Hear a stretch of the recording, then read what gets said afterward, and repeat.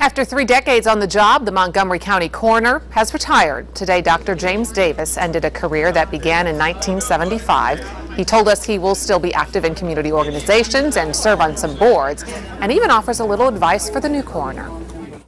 There's been a long-standing unwritten rule here at the coroner's office, and that has been since Dr. Siff and before, that we always want to leave it in better condition than we found it, and we also, most importantly, want to take it to the next level. The new coroner is Dr. Kent Harshbarger, who served Davis as a forensic pathologist.